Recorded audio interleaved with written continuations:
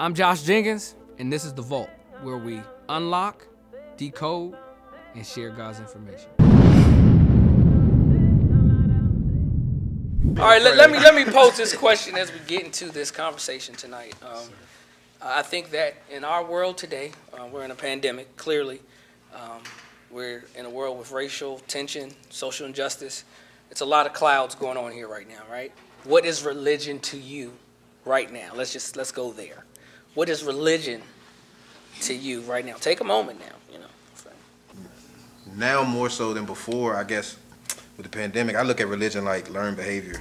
My name is Nathaniel Brent Thomas, also known as Motivate with Nate.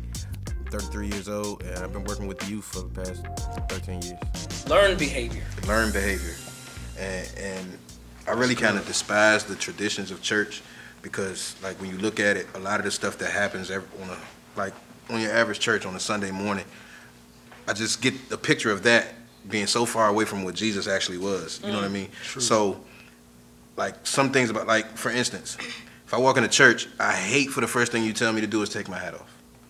Man, why doesn't church make people just feel like, come on in my house? If somebody comes to visit my house and I open the door and they step in two steps, my first thing ain't gonna be, hey, take your hat off.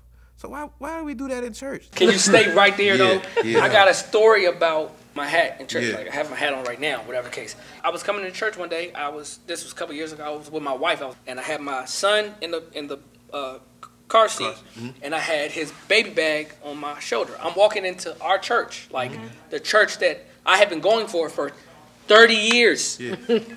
And uh, as I'm walking in with my hat on and my baby in my hand, uh, Usher grabs my arm like this. No God. Like look at me, like like like child, like like Yeah, little yeah, kid. yeah. He grabs my arm like this, and I look at him, and he says, "Take your hat off."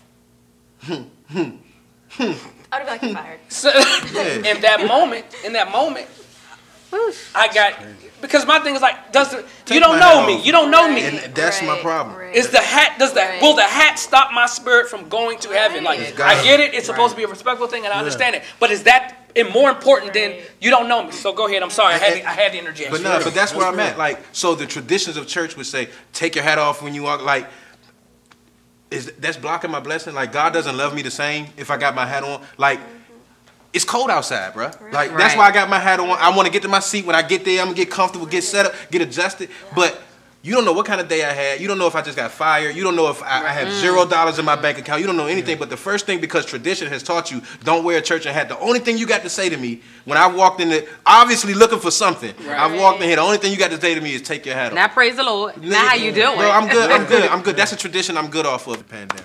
I think for me, my view on religion was before the pandemic. Like I see religion as a preference. When you get a uh, application or something, it says religion. Check one: Christian, uh, Catholic, Right. whatever. And like you said, it's the tradition.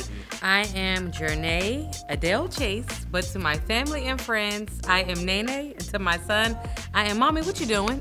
I'm 31, and I currently manage radio contracts for the Associated Press. However, comma, I am a content creator.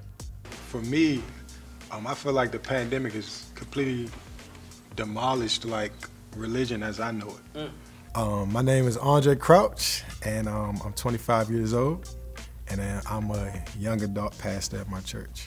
Things that we've done religiously, like going to church on Sunday religiously, going to Bible study religiously. You know what I'm saying?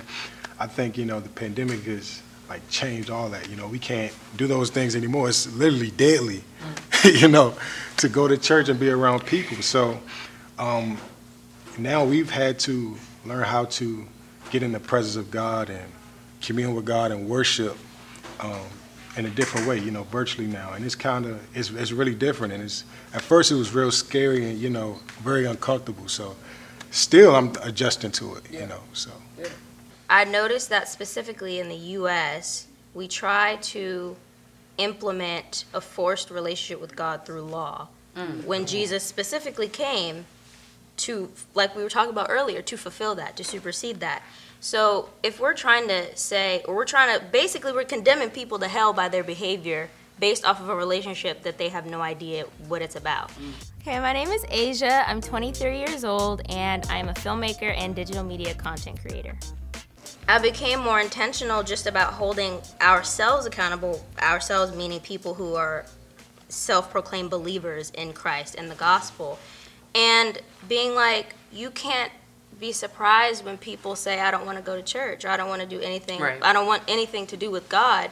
Look at how we've used it. Look at how we've said, yes, you are free to believe what you want. God is a gentleman. He will not force yourself, he will not force himself upon you. And then say, oh, but yeah, no, you can't do that. Yeah, no, wear this. Don't come to my church looking like this. Oh, mm. actually, no, don't say that. We've tried to approach sin and unrighteousness with a law that has been fulfilled by Jesus.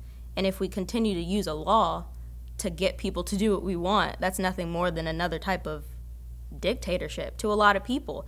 We are trying to ease people into a relationship through conviction. And you don't know the person. You don't you don't know their life. You don't know their story. You don't know what they go home to. And we don't take the time to build relationships with these people and then we have the nerve to say no one's coming to church. I don't even want to go to church because of people like me people like you people who don't love other people. So um, I, whenever people have something to say, either oh, uh, all churches are the same. There is a truth to that statement because we we pride ourselves on the legality of all these rules and everything that we have to follow, and then have the nerve to be like, we're being persecuted. No, you're being held accountable. That's what you're doing.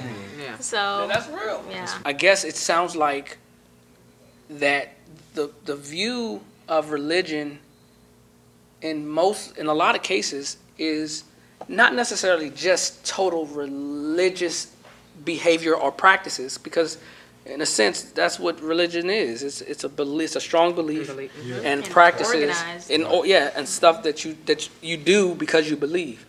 And so it sounds like that a lot of people have problem with church and not religion. Mm-hmm. Right. is there a difference between church and religion? That's a that's a loaded question i know but is there a difference between church and religion because you might not necessarily people you know i heard somebody say to me the other day i love god but i'm not religious dog i don't go to church does that mean that you're not religious because you don't go to church or or uh, could you could you uh, not go to church and still be religious is, is that a so You could be religious about anything. you could Yeah. be Right. It's it's a consistency. Right. I religiously beat my Right, face. right, I religiously right, yeah. buy shoes. I really, you know, Yeah. I, I think a lot of people get it messed up because, or twisted, if you will. Mm-hmm. Some churches have church law. Mm-hmm. That's not, you know, mm-hmm. religion and church law are two different things. I can wear earrings if I want to. right like that's church law.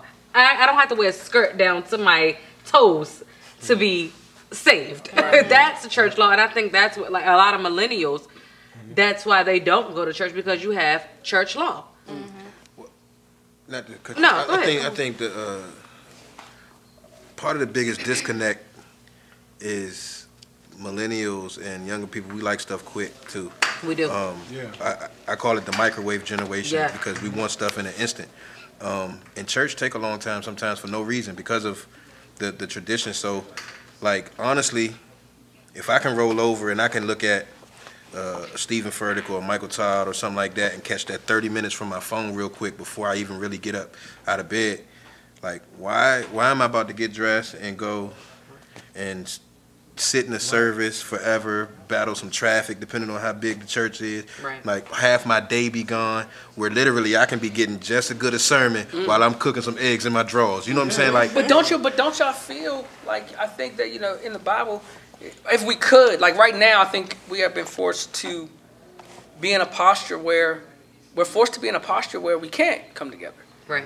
But I do think that there- there is. I mean, y'all tell me. I do think that there is something about coming together, I love it. fellowship, Yeah. to worship together.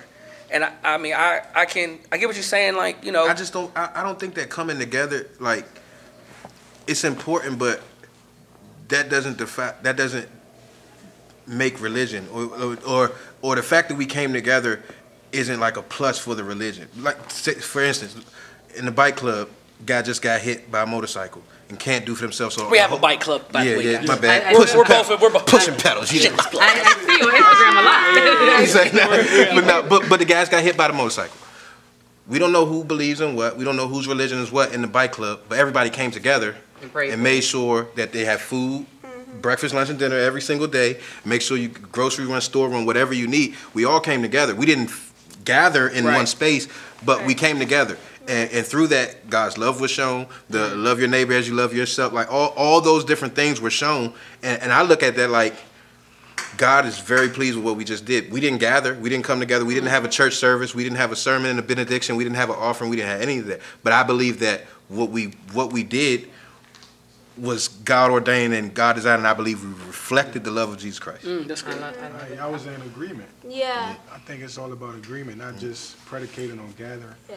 And I think this whole pandemic is God's way of just showing us like, your gathering is important, but it's not the foundation of your relationship Just with a me. part. It's a part of it, I agree. but it, it shouldn't be the foundation. The foundation, that's that's important. You don't got nothing without foundation. Because your big your, I agree. your your biggest battles ain't really fought with a lot of people anyway, in my opinion. Facts. I, I believe that my my biggest battles are I'm by myself By and I'm yourself? duking and like I'm I'm in a corner, I'm in a room, whether that be boo whatever that looks like, whether Mm. I'm angry, whether I'm my, my biggest battles, my biggest struggles that I've of course I've had some people that I can, hey man, I'm going through, pray for me. But but but when you standing there, your my biggest battle it ain't a gathering. That So my relationship, I can't say that my, my my love for God is based on religion and gathering and stuff like that because when God is putting me through my biggest test, it's nobody but me, and God is saying, "Am I going to depend on him? So let me ask y'all that question. Let me pose that question then. Are there, do you feel like there are too many rules Yes. for Christianity? Yes. Yes. Too many rules for Christianity?